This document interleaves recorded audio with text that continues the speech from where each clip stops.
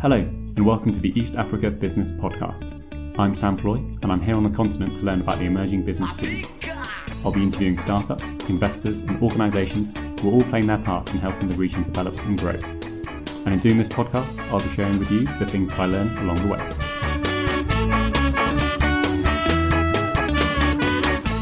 One of the things I found really interesting is how proven international business models are being applied in East Africa. Music streaming is one of these. In years gone by, people in Europe and the US would own CDs but now stream through services like Spotify, which pays royalties to its artists, making music accessible to all. Martin, who started Mdundo, is doing this in East Africa, though it's a little different. We discuss the particulars of the African music market, the considerations in scaling their business, and what they look for in hiring talent. The room is a little echoey, so apologies in advance. However, I hope this doesn't detract from what is a very interesting conversation. So I'm here with Martin in uh, a co-working space called Nairobi Garage, uh, in, which is also where the offices of Mdundo are. Uh, Martin, welcome to the show. Thank you so much. So just to get us started, can you tell us a bit about you and a bit about what Mdundo does? Yeah, so um, a bit about myself. I'm Martin. Uh, I'm originally from Denmark. Uh, I moved here to Nairobi uh, just around uh, just around four years four years ago, four and a few months. Um, that, that's basically about me. Uh, I came here with a, with a, with a small um, investment, seed investment fund, uh, which is completely private. Uh, they're looking to do a number of, invest- of investments in the tech industry across Africa. Um, I came here together with them uh, and uh, really kind of liked the environment. I really liked the opportunities that were here. I thought from a like yeah, four, four or five years ago in, in Europe, there's not a lot of fun happening, and uh, there's not kind of I think I think uh, everything was kind of in a bit of a slowdown. And so I felt like why not spend my time and my kind of early career starting up a business and trying to start a business in, in, in Africa or in Kenya for this, for this matter. Um, a bit about Mdundo. Uh, well, so Mdundo is a music service. and we basically, it started as an idea uh, just briefly after I moved here, so in, uh, towards the end of 2012. And we, together, together with a few colleagues, um, we were basically just discussing uh, the music industry here in, in, Kenya. We were meeting with a few of the different uh, stakeholders, musicians, uh, different uh, uh, music lovers, um, and just genuinely found out that the solutions that were currently provided were not very good. Uh, there was a big most of the parties that we talked to on site were not very happy. So the musicians were not happy. There's no easy way to find music. There's kind of a big, as we see, a big gap in the market. Um, we didn't really have an idea how we were going to solve it, but we felt like let's, let's see if we can give it a try and, and find a solution that can satisfy the different partners involved. So, uh, so what is the current solution? Yeah, so um, for, for just to kind of stay a little bit step back, for a year or so, we kind of just tried around different things. And today, uh, the solution is, um, I kind of like to explain it like very similar to Spotify in terms of philosophy. So basically, the solution that we're providing here is technically and kind of operationally quite different, but the philosophy that we're going into the industry with is very similar to Spotify, which basically means that we're looking for a way to make it easy for um, uh, to make to make it easy for people and affordable for people to um, access music, and with a philosophy of that we want people to go from um, illegal sites into legal sites and then try and monetize the channel between the artists and their fans. Um, so that's kind of in a nutshell what we do.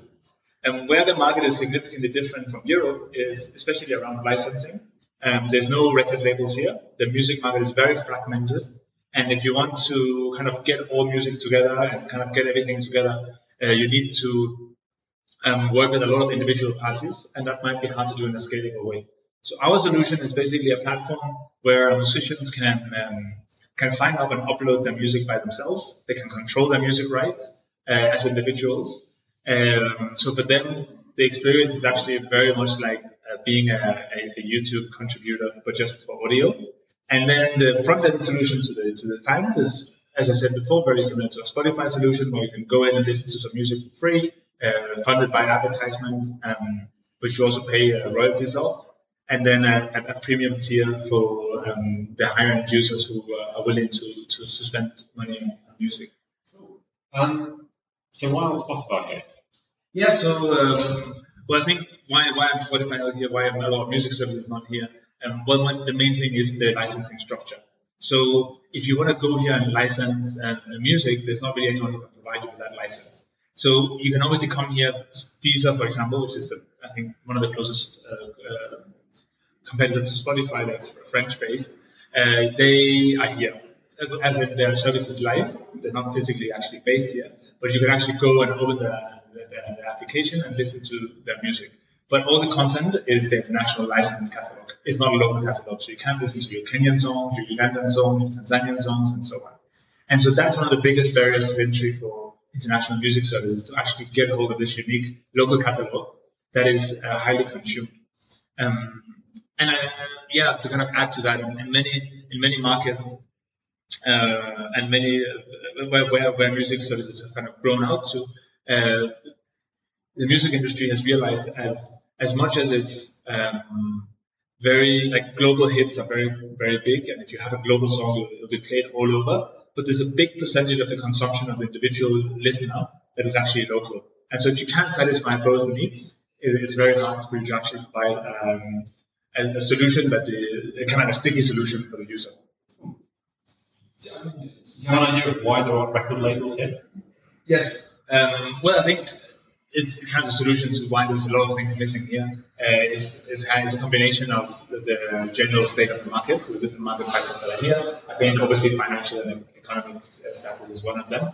Um, if you were to go in and actually invest in catalog, for example, what is the return on investment going to be?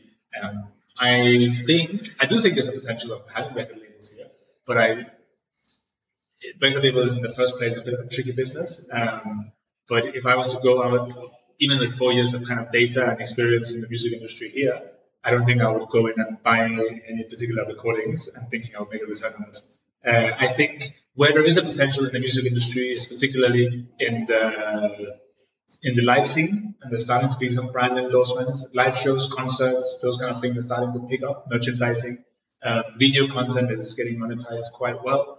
Uh, but in, in, regards to actually uh, sitting as a, as a, as a company and actually buying up rights and making a return on investment on those recordings, I, I don't think it's, it's, still it's still early days. Um, but the record labels are moving a little bit around here. Uh, you have Universal has uh, uh has kind of uh, is, is, interested in opening um, offices here. Uh, Sony has opened offices in Nigeria recently and wants to open here as well. It's kind of publicly known. Um, so there is there is activity. It's just moving like as, as every other industry, it's, it's moving a little better here. And just in, in, simple terms, how does a record label make money? Um, well, so again, it depends on the different how, how the record label look.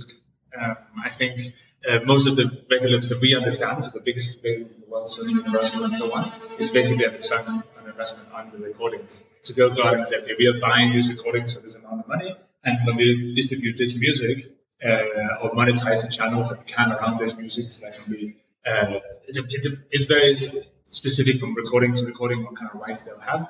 Um, but let's say they, um, but they set it on Spotify, but for that matter, that'll be a revenue stream. Yeah, that's basically how it works. Cool. So basically, yeah, buy buy the song and then look to sell it in various different ways and take a cut. That's the simplest form. But yeah. there's a there's a, a various individual negotiating contracts with individual artists, so that's kind of it's a little bit tricky. Because um, I remember well, hearing, you know, there's there's always someone in the news like you know, Taylor Swift who what didn't want her stuff on Spotify. Yeah. Have you felt any resistance from local musicians? Well, we have, and I think um, most of it is highly because of uh, trust. So we're seeing that as we're building our brand uh, stronger and stronger, the start also starts also to make, to make more and more sense for them. I think musicians here are kind of a one-man record label. So we'll find um, musicians have a kind of their own business and they're trying to find different ways of monetizing their brand. And for most of them, uh, those channels that are working out for them, as, as I said before, is live shows. It could be a bit of uh, brand endorsements. It could be a bit of merchandising and so on, but primarily live shows. The money that they make back on distribution is fairly little. There is some kind of distribution channels that are working for them, uh, such as uh, ringback tunes, which is quite big here, caller ringback tunes. That's basically when you uh, as a as a as a as a mobile subscriber, you can uh, subscribe to a ringback tune, which basically means when someone calls you, it plays some famous song instead of the normal ringing tone. Yeah, and that is a really big product here. Um, I think there's 10 million subscribers paying one trillion shilling a day, uh, so quite a big business here, and they make a lot of money. Um, but it's kind of a it's not a product that allows for a lot of browsing of music. It kind of allows only for a limited number of songs to be to be available. Um, but that is quite a big uh, way for the musicians to make to make a return on investment on their recordings. Um, but in terms of the kind of distribution that we're otherwise used to, uh, there's not uh, really, and there hasn't been any way for them to actually to actually monetize that since the last 15, 20 years. Uh, it's mostly been pirated, uh, just available for free online, and so that in this case, when we meet artists here, is more because they don't really understand, or they don't really see how this will ever become a significant revenue stream for them. So the time invested in working with someone like us is just not worth it because the return on investment is not going to be there. And as we have grown across countries, we are seeing a lot more interest because out of a sudden we don't become only a revenue partner, but also a marketing partner. So, for example, you'll find a musician in Kenya who is interested in branching into the Ugandan market or Tanzanian market or the other way around, and then we become a more um, a, a, a, bigger partner, and the time invested in working with us uh, becomes worth it. So, how many countries are you operating in?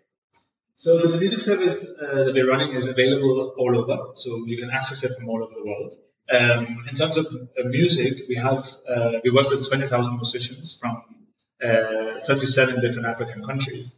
But in terms of actually physical presence, we're only in three here in, in Kenya and in Tanzania and in Uganda. Uh, we are quite ambitious towards getting into other markets and moving forward. Um, we have a very strong belief that if uh, our business is, is, currently not a profitable business, if we want to turn it profitable, it really depends on the, our, our, ability to scale across 10, 15, 20 African markets, um, where we start seeing these synergies between the different markets uh, and can reach a critical uh, number of, of, uh, of users. Um, so, so we've always been with the mentality of that we want to grow to as many markets as possible. Um, in, in sort of rough numbers, what are your current user base and what is what do you consider critical mass? Well, so we're currently running uh, a million active users a month. Um, I think uh, when we get to around 10, 10 million, it starts becoming uh, something that's very interesting. Um, not only uh, from a profitability perspective, but also from a perspective of contributing back to the music industry. So I think that is the critical mass number we're actually looking at. The critical mass uh, number is the, is the point, at, a big point, at which point can we go out and say, okay, we are actually contributing significantly back to the music industry and become a significant revenue stream for the musicians that we are working with, so that that motivation around why, why should I work with Mdundo starts making sense. Um, and someone can actually make money back on the recording from our site. Uh, that is from our service. That is when it starts becoming critical. And right now, uh, yeah, five to ten doubling our numbers, and we'll be there. Um, what uh, I mean, is, is, it easy for you to get users, or like what's the um, yeah, what, what's the sort of process by which you, you onboard a user or you get a user?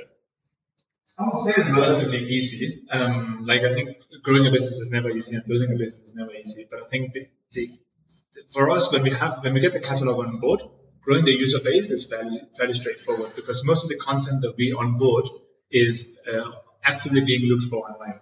So we find a lot of traffic just coming through Google search, uh, just coming from social media. So if a musician has uploaded a new song to our site, he shares it to his fans and people find us.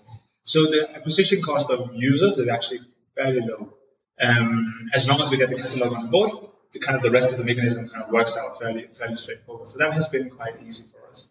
Um, the issue is uh, what happens if you cannot deliver the content. So um, as a as a music service, you you're always striving to uh, not have, um, if any, as many as, as few as possible holes in your catalog. You don't want to have a song that you don't have. Because what happens as soon as uh, a user uh, is looking for a song that they can't find, they'll switch back to an illegal site or back to uh, ripping it off YouTube or somewhere else. Uh, and you've lost that customer because it's like, okay, that was not, my, my convenience was not worth it. And so you're, you're constantly fighting against a catalog from pirated sites, which are basically uh, always, in many cases, superior because they don't follow the rules. Um, and so you are striving to make sure that you actually onboard all the content and have all the content as well for the user to find. So that's the biggest challenge. Um, when that when we get the content, the users come as well. Um, how much does it cost for a user? Oh, sorry, how, much, sorry, how much does the user pay? Yeah. So the, the service is um, free. So there's a freemium model. So there's a free tier. There is a, a paid tier, but you pay uh, two dollars a month. So a fairly, a significantly smaller fee than what you pay for international services. Um, obviously, we also only uh, offer a local catalog, so a smaller catalog than what they do. Uh, and also the, the income level is, is different, different here from, from, from the West. Um, so for two dollars a month, you can access the full, the full service with no advertisement and kind of offline mode and the whole, the whole thing. Uh, how many songs do you have? We work with 20,000 musicians, um, and I think they have they altogether have approximately 60 to 70,000 songs um, across the catalog across the, across the continent. What's your favorite song on Mdundo? My favorite song Oh, it changes a lot. I think uh, it kind of depends on, on, depends on what kind of mood I'm in. Uh, recently, I've heard a lot um, a, a, band called there's a, there's, a, there's a group called Just a Band, and they actually have quite a lot of success in Europe as well. Uh, do a lot of shows in Europe, and they have this kind of Afrobeat, uh, Afrofusion. Um, kind of combined in a place that can also play in, uh, in more of a kind of I don't to explain it. Just check it out, really. Just check it out. I'll, I'll, add it to the show notes. Yeah, so people, so people can They're really, really cool. And I think also one of the reasons why I like it is they do appeal more to European ears than many of the other, the other music. So that's probably also why I like it. And then they're amazing live. um, what what is the typical demographic of a listener of the Very interesting question, actually. Um, it has changed a lot since we started. So it's very funny. It's been very funny for us um, we basically started having a very young demographic, so 18 to 24, um, a little bit more guys than girls, a little bit more urban than rural. Um, but what we have seen with Kenya is that over the last year and a half, it has heavily shifted to also include an older generation. So we're seeing, um, I think, age group above 35 years uh, accounts for 30% of our traffic now, which is kind of a big chunk, especially when you look at the demographics of the general population, which is heavily skewed towards I think half the population is below the age of 18, something like that. So it's a really young population in, in Kenya. Um, but also quite exciting because I think it shows that Kenya's Kenya kind of across across uh, across age groups uh, very easily uh, very easily adaptable to, to new technology and to new things. Um, it takes a bit more time, obviously, than the early adopters, but they'll get there. Um, in Uganda, it's a similar trend. In Tanzania, we have primarily young very young people, but I think also it's just a matter of time and it also kind of start uh, going across different different generations. Um, how are people listening to the music? So that's actually also an interesting question. So we we allow people to do streaming and to download download the music. Um, kind of going back to what I said in the very beginning, we have always gone in with the philosophy a very similar philosophy as, as, as, Spotify, which basically is that we need to make sure that people access music from our side instead of access music from illegal sites.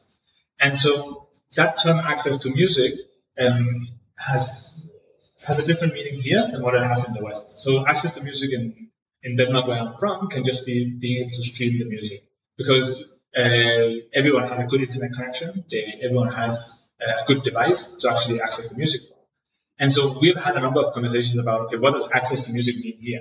And so when we just started, it was actually just an MP3 download.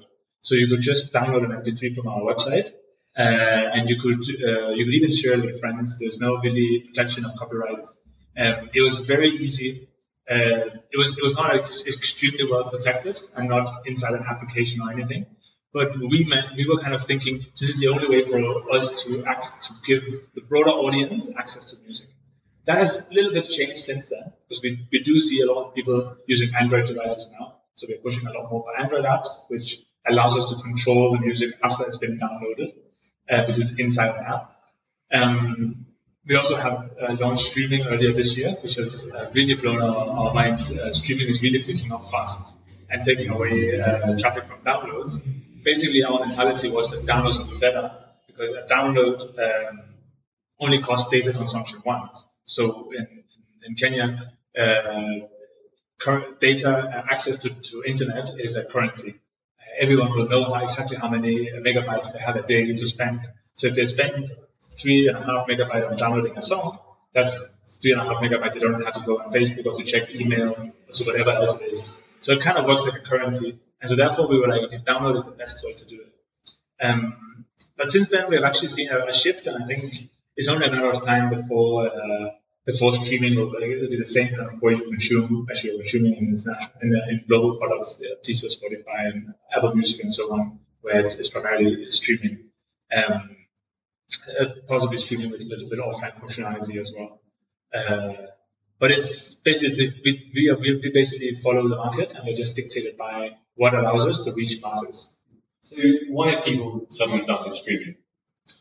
These are costs. So the cost of uh, internet has gone down significantly. Uh, here in Kenya, it's been cut by three in, in, in uh, by yeah, cut in a third, I think, from a year ago, a year and a half. Uh, competition around telcos uh, has really cut it down. Some different initiatives on lowering data prices. I think also some of the telcos are realizing that if they want to start uh, making money on data, they also need to branch it out and get even more people to use data. There's kind of a, a balance between those two. Um, obviously, you can you can keep the data cost high, but you only reach 10% or 5% of the population uh, at a premium, but you're better off getting the whole continent or the whole country on board. Um, so data prices is the number one thing, and internet speed as well. Um, what does Mdundo mean? Mdundo is a Swahili word. Uh, it means beat or rhythm. Uh, I think as as can both be used as a, as a, as a verb and as a as beat, beat also kind of feel feel the rhythm is also is also uh, is also Mdundo. Um, we kind of we kind of came up with it when we just started, and it was actually a very a very interesting process. Um, I I was kind of just considering a name for the service. It actually launched the service without a name uh, because we we just wanted to kind of test the waters. We just got on board and started getting some, some traction. And then um, at some point we needed to get a name for the project. And I, I kind of just, I had just been here for two or three months. I didn't know any Swahili and started writing a list of, um, of English words that is related to music. So everything from beat to play to all this kind of stream uh, combination of, of the different English words of okay, what, what, what, what words are music like? And then I got someone to translate it for me. And then in Mdundo, I found like it, it, it, was it sounded like a good brand name. I thought it would work outside of Swahili talking countries as well. And, and the domain was available. So uh, just go ahead. Nice.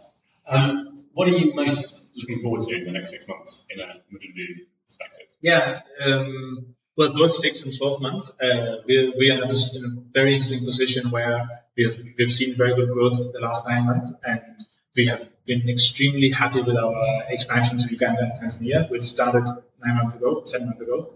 Uh, and so we just want to duplicate that. Now we're ready. Um, so it's a lot about scaling, scaling the business up, getting into more countries, getting more musicians on board, uh, trying to find strategic partners across markets who are interested in working with someone like us. Um, and just kind of try and, um, as I said, uh, increase the value of the music industry as a whole by taking control of this relationship between the artist and the users.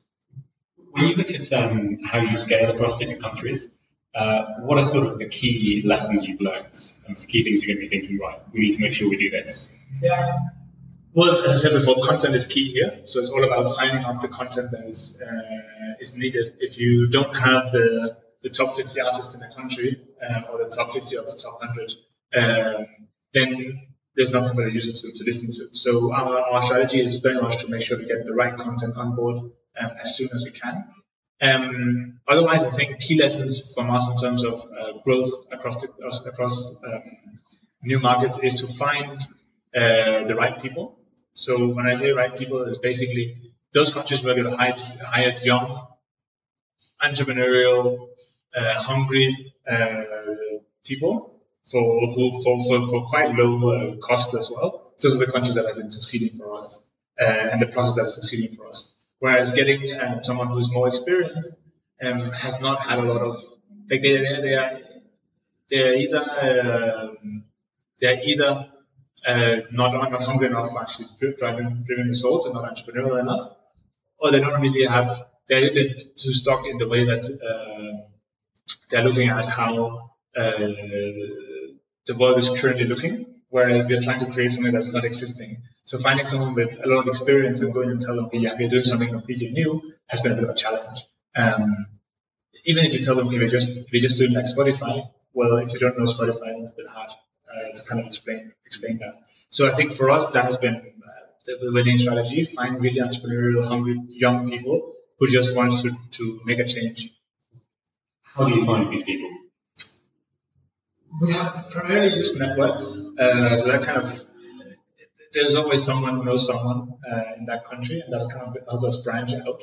Uh, I think here in Nairobi, as, as, you were saying in the beginning, we're sitting in a co-working space. So that means that uh, there's probably 20 other companies sitting around us, and kind of together, everyone has a network and can kind of help branch out. So in the other countries, we have tried to look for similar spaces uh, because that helps us not only find an office space that is fairly affordable and, and, and easy to, to set up, um, but also help us grow, uh, help us help, help give us, giving us access to a local network. Um, if you send an email around in, in, in Nairobi Startup Garage and say you're looking for this person, you will very easily get applications.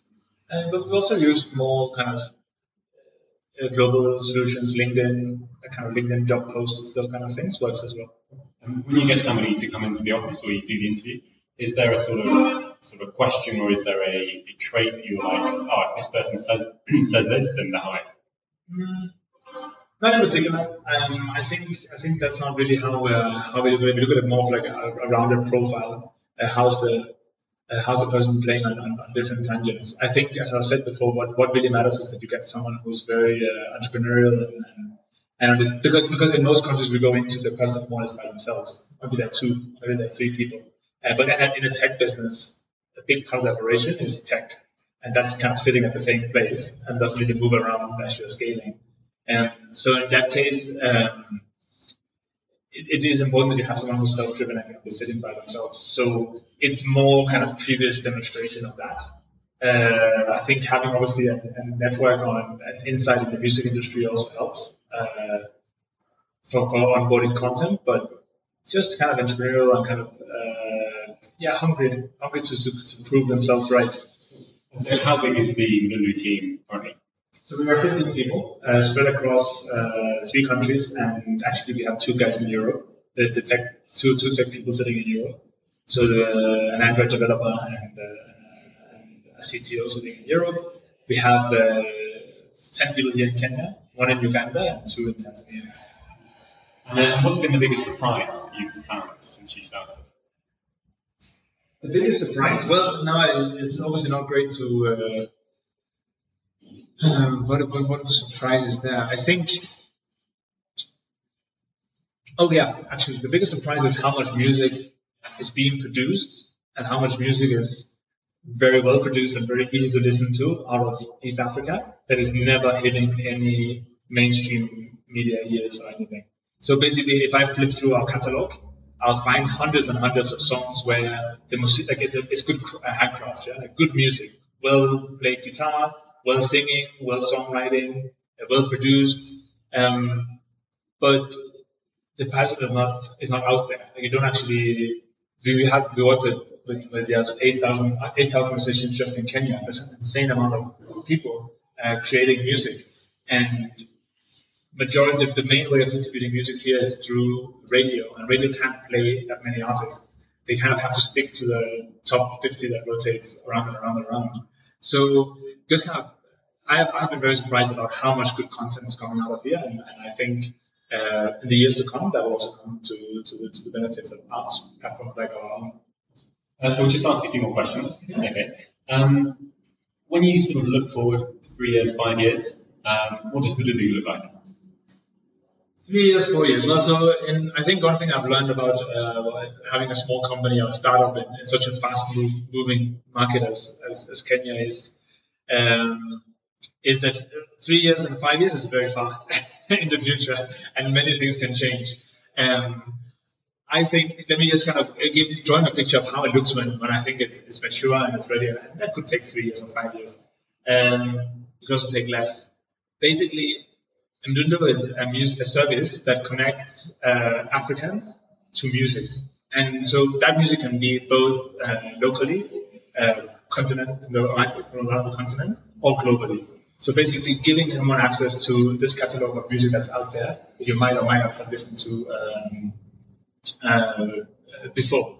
Um, I think it's uh, going to be across a number of countries, and I hope that uh, that country-wide, uh, continent-wide reach will help us um, generate, make, generate value um, across the music industry, so not only in this music distribution, but in other uh, sections as well, and become a valuable partner for, uh, we talked about music labels before, valuable partner for music labels, musicians, uh, event organizers, kind of just as a whole increase the total value of the music industry today.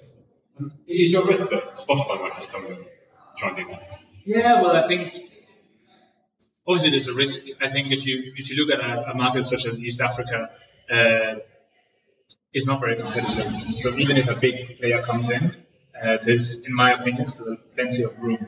Um, I think we have some unique uh, flexibility and some unique um, activities that we can play around with and, and, kind of makes us different from what they do.